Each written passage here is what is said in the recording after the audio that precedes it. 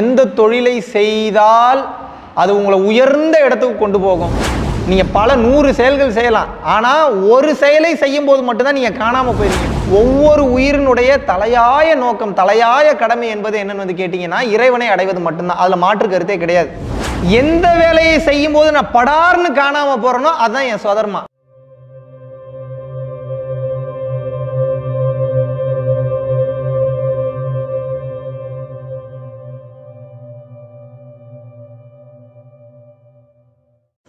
குருவே சரணம் குருவே துணை. ஐயா குரு மகாவிஷ்ணுவுக்கு என்னோட முதல் பணிவான சிறல் தாழ்ந்த என்னோட வணக்கத்தை தெரிவிச்சுக்கிறேன். இன்றைக்கி வந்து எனக்கு ஒரு நல்ல கம்பெனியில் ஒரு ஆஃபர் கிடச்சிருக்கு. இதுக்கு எப்படி காரணம் கண்டிப்பாக அப்படின்னா நீங்களும் ஐயா காஞ்சி விஸ்வநாதசாமி தான் காரணம். ஏன்னா என்னையும் வழிநடத்தி எனக்குள்ளே இருந்து எனக்குள்ளே கேட்கப்படுற ஒவ்வொரு கேள்விகளுக்கும் நீங்கள் ஒவ்வொரு நாளும் போடுற அந்த வீடியோ எனக்கு பதிலாகவே இருக்குது. ஏன்னா நான் என்றைக்கும் உங்கள்கிட்ட இருந்து அந்த தீட்சை வாங்கினோ அன்னிலேருந்து என் லைஃப் டோட்டலாகவே சேஞ்ச் ஆயிடுச்சு நான் பேசுகிற பேச்சு நான் செய்கிற செயல் எல்லாமே சேஞ்ச் ஆயிடுச்சு அது எல்லாத்துக்குமே நீங்கள் தான் காரணம். என்னை ஆட்கொண்டு என்னை வழிநடத்தும் என் குருவுக்கும் மகாவிஷ்ணுவுக்கும் நன்றிகள் கோடி காஞ்சி விஸ்வநாதன் சுவாமிகளுக்கு நன்றிகள் கோடி குருவே சரணம் குருவே துணை. குருவே சரணம். அனைவருக்கும் வணக்கம். எந்த தொழிலை செய்தால் உங்களுக்கு அது பல கோடி ரூபா வருமானம் பெற்றுக் கொடுக்கும்? மிகப்பெரிய புகழை வாங்கி கொடுக்கும். எந்த தொழிலை செய்தால் அது உங்களை உயர்ந்த இடத்துக்கு கொண்டு போகும்? இப்போது நீங்கள் இது வந்து பார்த்தீங்கன்னா ஒரு மாபெரும் ரகசியம். இதை பற்றி ஸ்வதர்மா வாட்டி ஸ்வதர்மா அப்படின்றத பற்றி பேசியிருக்கேன். பல பேருக்கு அதில் ஒரு மிகப்பெரிய குழப்பம் இருக்குது அதை பற்றி இன்னும் கொஞ்சம் டீட்டெயில்டாக பேசுகிறேன் நல்லா புரிஞ்சுக்கோங்க. எந்த ஒரு வேலையை நீங்கள் செய்யும் போது நீங்கள் காணாமல் போய் விடுகிறீர்களோ அதுதான் உங்க சொதர்மா. நல்லா புரிஞ்சுக்கோங்க. இது அவ்வளோ சீக்கிரம் கண்டுபிடிக்க முடியாது. ஒரு சில பேர் புத்திசாலிகள் ஈஸியாக கண்டுபிடித்து விட முடியும். உங்கள் ஸ்வதர்மாவை நீங்கள் தெரிஞ்சுக்கணும் அப்படின்னா நிச்சயமாக இறைவனின் அருள் என்பது அவசியம். இறைவனின் அருள் இல்லை என்றால் நீங்கள் எதில் ஸ்பெஷல்னு தெரிஞ்சுக்கவே முடியாது. ஏன்னா ஸ்வதர்மா என்பதே மனத்தெளிவினால் கிடைக்கக்கூடியது தான் நீங்கள் பல நூறு செயல்கள் செய்யலாம். ஆனால் ஒரு செயலை செய்யும் போது மட்டும்தான் நீங்கள் காணாமல் போயிடுவீங்க ஒரு எக்ஸாம்பிளுக்கு இப்போ உங்களுக்கு நான் ஒரு எனவே ஒரு எக்ஸாம்பிள் இப்போ நான் உங்களுக்கு சொல்கிறேன் நல்லா புரிஞ்சுக்கோங்க. இப்போது எனக்கு வந்து இப்போ நல்லா ரைட்டிங் சென்ஸ் இருக்குது நல்லா வந்து பார்த்தீங்கன்னா பேச பேசக்கூடிய திறமை இருக்குது அதுபோக இன்டர்நெட் மார்க்கெட்டிங் ஸ்கில் இருக்குது அதுபோக வந்து பார்த்தீங்கன்னா டைரக்ஷன் ஃபிலிம் டைரக்ஷன் பண்ணக்கூடிய ஒரு சென்ஸ் இருக்குது நகைச்சுவையாக பேசக்கூடிய சென்ஸ் இருக்குது ஏகப்பட்ட திறமைகள் இருக்கலாம். இந்த மாதிரி. இன்னும் என்னென்னமோ இருக்குது. அவ்வளோ வேலைகள் பண்ணியிருக்கேன்.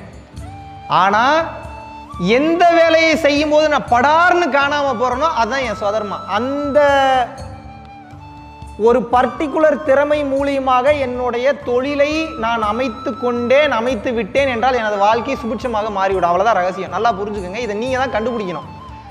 இப்போது அது எப்படிப்பா காணாமல் போகிறதுன்னா என்ன எனக்கு புரியலையே அப்படின்னா இப்போது நான் பேச ஆரம்பிச்சிட்டேன்னு வைங்க. நான் பேசும்போது எனக்கு டைம் போகிறதே தெரியாது. நான் நீங்கள் ஒரு ரெண்டு மணி நேரம் மூணு மணி நேரம் நாலு மணி நேரம் நீங்கள் என்னை பேச சொன்னீங்கன்னா கூட எனக்கு டைம் போகிறதே தெரியாது. டக்குன்னு எனக்கு ஒரு ஒரு செகண்டு தான் ஆன மாதிரி இருக்கும். ஒரு ஒரு ரெண்டு மூணு செகண்டில் டக்கு டக்குன்னு வந்து முடிஞ்ச மாதிரி இருக்கும். பார்த்தா ஒரு ஒரு மணி நேரம் ரெண்டு மணி நேரம் போயிருக்கு. இது காரணம் என்ன? இந்த உடலானது படைக்கப்பட்டதே இப்படி தான் படைக்கப்பட்டிருக்கு. இறைவனின் மாபெரும் படைப்பில் இந்த உயிர் இந்த உடலை எடுத்து இந்த பர்டிகுலர் திறமையினால ஒரு சில கர்ம வினைகளை வந்து கழித்து ஒரு சில தொழில்களை செய்து ஒரு சில செட்டில்மெண்ட்ஸை முடிச்சு இந்த வழியை கிளியர் பண்ணா இவனுக்கு வேணுங்கிற அனைத்து செல்வங்களையும் அடைந்து அதுல ஒரு தெளிவு பெற்று அதுல ஒரு பூரணத்துவம் அடைந்து அதுல ஒரு திருப்தி அடைந்து எல்லாமே கிளியர்னதுக்கு அப்புறம் முக்தி பாதை நோக்கி போவான். நல்லா புரிஞ்சுக்கோங்க. ஒவ்வொரு உயிரினுடைய தலையாய நோக்கம் தலையாய கடமை என்பது என்னன்னு வந்து கேட்டிங்கன்னா இறைவனை அடைவது மட்டும்தான். அதில் மாற்று கருத்தே கிடையாது. ஆனால் அந்த இறைவனை அடைவதற்கு தடையாக இருப்பது என்ன? இன்னும் நீங்கள் இன்னும் நல்ல சாப்பாடு சாப்பிடல. ஒரு உடல் சுகம்னா என்ன நீங்கள் சரியாக பார்க்கல. நல்ல அழகான ப பெண்ணை புணர்ந்தா எப்படி இருக்குன்ற அந்த பேரின்ப நிலையை நீங்கள் அடையல. இன்னும் வந்து வேற என்ன மாதிரியான ஆசைகள் இருக்குது வெளிநாடு போகலை. வேற என்ன மாதிரியான ஆசைகள் இருக்குது ஒரு படத்தில் நடிக்கணும்னு ஆசை. ஆனால் நடிக்க முடியல. அட்லீஸ்ட் படத்துக்காவது நல்ல தேட்டருக்கு போய் பார்க்கணும்னு ஆசை. அதுக்கும் போக முடியலன்னா இவ்வளவு ஆசைகளை வைத்துக்கொண்டு எப்படி ஒருத்த முக்தி பாதையை நோக்கி போக முடியும்? போக முடியும். இறைவனோட டைரக்ட் அருள் இருக்கு. அஹ் அவரோட அருள் ஆசிகள் இருக்கு. ஒரு குருவோட வழிகாட்டுதல் இருக்குன்னா இது எதுவுமே இல்லைனாலும் அடைஞ்சிட முடியும். ஆனா எல்லாருனாலையும் அப்படி ஒரு குரு கிடைச்சா அந்த ஒரு டக்குன்னு ஒரு ஒரு ஸ்பான்டனியஸாக அப்படி போயிட முடியாது. அப்போ அதுக்கு காரணம் என்ன அப்படின்னா அவர்களுக்கு பணம் என்பது அவசியமாகிறது. பல பேர் வந்து ஆன்மீகத்தில் தவறாக புரிஞ்சுக்கிறீங்க. பணம் காசே இருக்கக்கூடாது. பாத்ரூம் போகிறதுனாவே அஞ்சு ரூபா கேட்குறான் பணம் இல்லாமல் என்ன பண்ணுவீங்க? பணம் நீங்கள் என்னதான் ஞான புரிதலோட உட்கார்ந்து பரவச நிலையில இருபத்தி நாலு மணி நேரம் அப்படியே ஆஹா ஓஹோன்னு உல்லாச பரவச நிலைக்கு நீங்கள் போயிட்டீங்கன்னா கூட நீங்கள் வாங்கி வச்ச கடனுக்கு உண்டான கடன்காரன் வீட்டுக்கு வெளியில் தயார் நிலையில் தான் நிற்பான் நீ எப்படியா இருந்தாலும் வெளியில வந்து தானடி அவனை நான் பாத்துக்கிறேன்னு நிற்பான் வேற என்ன? நீங்க என்னதான் பரவச நிலையில இருந்தாலும் உங்களுக்குன்னு ஒரு அம்மா இருப்பாங்க குழந்தைங்க இருப்பாங்க. அப்படி இல்லைன்னா உங்கள் மனைவி இருப்பாங்க அவங்களுக்குன்னு ஏற்படுத்தின கடமைகள் இருக்கும். தெரிஞ்சோ தெரியாமல் முன்னாடியே அந்த கர்ம வினைகளை நீங்கள் சிக்கியிருப்பீங்க. இப்போ வேறு வழியே இல்லை உங்களுக்கு ரெண்டே ஆப்ஷன் தான். ஒன்று வீட்டை விட்டு ஓடி போயிடணும் சன்னியாசியா. அப்படி இல்லைன்னா குடும்ப சூழ்நிலையில் இருந்துகிட்டே அந்த வேலையை பார்க்கணும். அதுக்காக நம்ம வீட்டை விட்டு ஓடி போகணும் உங்களை நான் சொல்லலாம் அது மிகப்பெரிய கஷ்டம். அதையும் நான் சொல்லிடுறேன். ஆத்திர அவசரத்துக்கு பயந்து வீட்டை விட்டு ஓடி போய் அங்கே போய் உட்காந்துக்கிட்டு ஐயையோ இதை பண்ணலையே ஐயையோ அதை பண்ணலையே ஐயோ அம்மா என்ன பண்ணியிருப்பாங்க? ஐயோ என் புள்ள என்ன பண்ணிட்டு இருப்பான்னு நினச்சிட்டு இருக்கிறவங்க பல லட்சம் பேர் இருக்காங்க. ஏகப்பட்ட பேர் என் கண்ணாலேயே பார்க்குறேன். அந்த தவறை பண்ணாதீங்க. உண்மையான புத்திசாலித்தனம் என்ன அப்படின்னா நல்லா புரிஞ்சுக்கோங்க. வாழும் வாழ்க்கையை சொர்க்கமாக மாற்றிக்க கற்றுக்கணும் அதை எப்படி மாற்றிக்கணுன்றதுக்காக தான் பரம்பொருள் யோகம் கிளாஸ் டைரக்ட் கிளாஸஸ் எடுத்துகிட்டு இருக்கோம். ஆன்லைன் கிளாஸும் எடுத்துகிட்டு இருக்கோம். இதையெல்லாம் தாண்டி பேசிக்காக அந்த வீடியோஸ் போடுறதுக்கு உண்டான காரணம் நீங்கள் டச்லேயே இருக்கணும். உங்களுக்கு உலக வாழ்க்கை மொத்தமும் வேறு ஒரு பாதையை நோக்கி இழுக்குது. அந்த பாதையில் போய் நீங்கள் சிக்கிக்க கூடாதுன்றதுக்காக தான் இவ்வளோ தெளிவாக பேசுகிறது நல்லா புரிஞ்சுக்கோங்க. உங்களுக்கு பல திறமைகள் இருக்கலாம். எப்படி உங்களுக்கு ப ஓவிய திறமை இருக்கலாம் பேசக்கூடிய திறமை இருக்கலாம் மார்க்கெட்டிங் ஸ்கில் இருக்கலாம் நட ஏதாவது ஒரு விளையாட்டு சம்பந்தமான ஒரு ஸ்கில் இருக்கலாம். எந்த வேலையை செய்யும் போது அது வந்து ஒரு எஃபர்ட்லெஸ்ஸாக செய்யணும் நீங்கள் ஒரு ஒரு ஒரு கஷ்டமே இல்லாமல் செய்யணும். இப்போது ஒரு எக்ஸாம்பிளுக்கு வந்து இப்போ நீங்கள் நல்லா பேசக்கூடிய ஒரு ஆள்னு வச்சுப்போம். ஆனால் நீங்கள் வந்து ஒரு ஐடி கம்பெனியில் வேலை பார்த்துட்டு இருக்கீங்கன்னா வேலை பார்த்துட்டு இருக்கும்போது ஐடி கம்பெனியில் உங்களுக்கு வருமானம் வரும் உங்கள் கடனை அடைக்கலாம் மிஞ்சி மிஞ்சி போனால் வந்து பார்த்தீங்கன்னா அந்த வருமானத்தை வச்சு சாப்பாட்டுக்கு உபயோகப்படுத்திக்கலாம் லோனு வாங்கலாம். ஒரு அழகான பொண்ணை கல்யாணம் பண்ணுறதுக்கு ஒரு இந்த வேலையை காரணம் காட்டிக்கலாமே தவிர ஆனால் நீங்கள் அந்த வேலையை வைத்து உங்களால் முக்தி பாதைக்கெல்லாம் போகவே முடியாது. ஏன்? அளவு கடந்த செல்வம் சேரும் போது மட்டும்தான் அந்த செல்வத்தை மிக சரியான வழியில் பயன்படுத்தணும்னு தோணும். உங்களுடைய வாழ்க்கையோட பிரச்சனைகளையும் அதிலேயே தீர்த்துக்கணும்னு தோணும். இதையெல்லாம் கடந்து இந்த இறை பாதையை அடைவதற்கு இறை நிலையை அடைவதற்கு இந்த ஆத்ம கர்மா உடல் கர்மான்னு சொல்லிட்டு சில கர்மாக்கள் இருக்கு. இந்த கர்மாக்கள் முடிவதற்கு அது ஒரு மாபெரும் வழியாக அமையும். அதற்கு செல்வம் என்பது மாபெரும் அவசியமான ஒன்று. பதினாறு செல்வமும் பெற்று பெருவாழ்வு வாழ்கன்னு சொல்கிறாங்களா அது பண செல்வம் மட்டும் கிடையாது. அது வந்து பார்த்தீங்கன்னா ஹெல்த் இருக்குது அதை கடந்த ஞான செல்வம் இருக்குது அத்தனையும் கடந்து வரும் இந்த ஞான செல்வம்ன்ற ஒன்று வந்துருச்சுன்னா அது எல்லாமே வந்துடும் அப்போ முதல்ல நீங்கள் தெரிஞ்சுக்க வேண்டியது என்ன? பணம் நிறையா சேரணும்னா நல்ல தொழில் செய்யணும். அப்படி இல்லாட்டினா நல்ல வேலை செய்யணும். அப்போ எந்த வேலையும் நீங்கள் எஃபர்ட்லெஸ்ஸாக செய்றீங்க. இந்த உடலுக்கென்று ஒரு ஒரு ஒரு சிப் ஒன்று போட்டு அமைச்சிருக்கான் அந்த சிப்புக்கு உண்டான சாஃப்ட்வேர் என்ன ஓஎஸ் என்ன அது எப்படி இயங்குதுன்றதை கண்டுபிடிச்சிட்டிங்கன்னா இந்த உடலை வச்சு ஈஸியாக அந்த பாதையில் போய் நீங்கள் ஜெயிச்சிருவீங்க. செல்வம் குவியும்.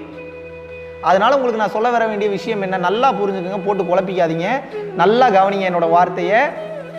ஒரே விஷயம்தான் ஒவ்வொருத்தரை பார்த்து ஏங்காதீங்க ஓடாதீங்க. சச்சின் டெண்டுல்கர் மாதிரி நீங்களும் ஆக முடிய முடியாதுன்னு சொல்ல சொல்லலை. ஆனால் அதற்குண்டான அர்ப்பணிப்பு என்பது வேற லெவலில் இருக்கும்.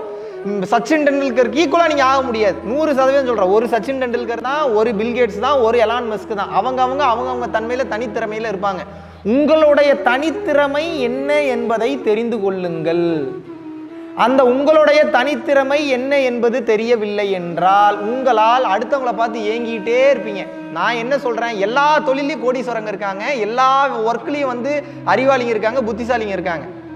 உங்களுக்கென்று வகுக்கப்பட்டது என்ன என்பதை தெரிந்து கொண்டு அதில் நீங்கள் பயணிக்க ஆரம்பிச்சீங்கன்னா தைரியமாக கண்ணை மூடிட்டு பயணிக்க ஆரம்பிச்சீங்கன்னா நூறு சதவீதம் அதில் பிஸ்னஸ் மேன் ஆகிடுவீங்க செல்வ வளம் சேர ஆரம்பிச்சிடும் ஆனால் அந்த தன்மையில் ஈகோ மட்டும் வராமல் பார்த்துங்க அடுத்தவங்களுக்கு உதவி பண்ண ஆரம்பிங்க.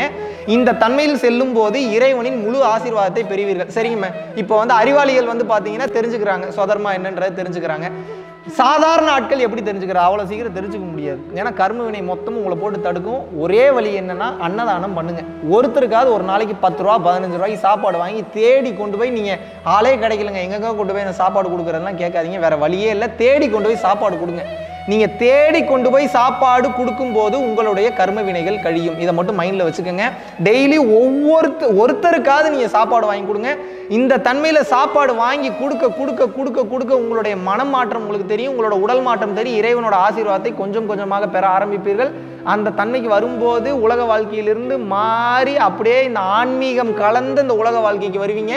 இந்த பிளஸ்ஸிங்ஸ் வர ஆரம்பிச்சிருச்சு அருள் என்பது உங்களுக்கு பொழிய ஆரம்பிச்சிருச்சு அப்படின்னா உங்களோட எல்லா டோரும் ஒவ்வொன்றா ஓப்பன் ஆகும். அப்போ உங்களுக்கு நீங்களாவே literally you will start to feel it இது என்ன புதுசாக மேஜிக்கலாக இருக்குது என்ன மிராக்கலாக இருக்குன்றத நீங்கள் உணர ஆரம்பிப்பீர்கள். இதை மட்டும் மைண்டில் வச்சுக்கோங்க. இறைவனின் அருள் இல்லாமல் பெரிய காரியங்களை உங்களால் செய்யவே முடியாது. பெரிய பெரிய விஷயங்களை சாதிக்க முடியாது. அருளை வளர்த்து கொள்ளுங்கள். எல்லாரையும் மதிக்க ஆரம்பிங்க. அளவு கடந்து நேசிக்க ஆரம்பிங்க. சாப்பாடு வாங்கி கொடுங்க. ஒருத்தங்களை காயப்படுத்தாதீங்க. மனதளவுலையும் உடல் அளவிலையும் காயப்படுத்தாதீங்க. இந்த தன்மைக்கு வரும்போது இறைவன் உங்களை ஆசீர்வதிக்க ஆரம்பிப்பான். எந்த செயலை செய்யும் போது நீங்கள் காணாமல் போய் விடுகிறீர்களோ உங்களை உங்களுக்கே தெரியும் எது உங்களோட ஸ்பெஷாலிட்டின்னு அந்த ஆக்டிவிட்டி சார்ந்து உங்களுடைய தொழிலை அமைத்துக் கொள்ளுங்கள். வாழ்க்கையில் மிக உயர்ந்ததற்கு சென்று விடுவீர்கள். நன்றி வணக்கம்.